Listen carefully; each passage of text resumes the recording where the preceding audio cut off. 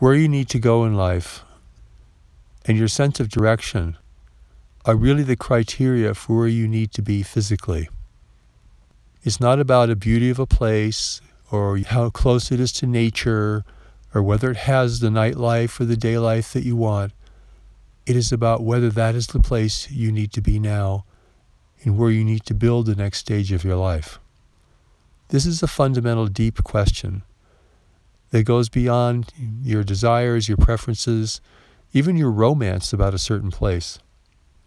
Because you could choose the most beautiful place imaginable, and if that's not where your life needed to be, it would be a dead zone for you. It would be empty. You might try to make it wonderful and everything you want it to be, but it wouldn't be true. It all comes down then to finding your direction in life. And that's a navigational emphasis.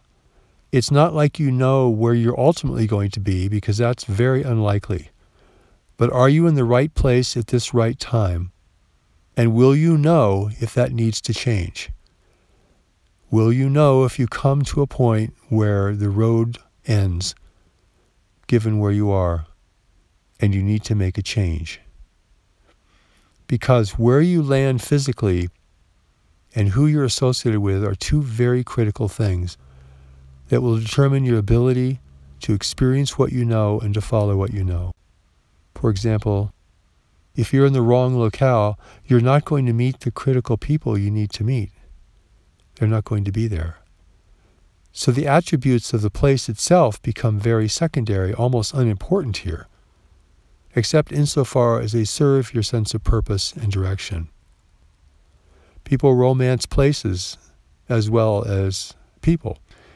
And that's setting your life according to criteria that's really very meaningless. You were born with a higher purpose. That means you have a destiny in life. A destiny means you have a direction you must find and follow, step by step, stage by stage. Sensing if you are in the right place at the right time for this moment is very important. And also realizing whether that place is temporary or permanent for you. This is why it is so important not to settle down, not to plant roots, not to establish yourself in a place until you have a real sense of where you're going in life. And a real sense if that place that you're choosing is really appropriate and necessary given this greater criteria for your life. God has put knowledge within you to guide you and to lead you towards your true direction and to be able to carry you forward within that direction, given all the persuasions of the world, all the attractions of the world.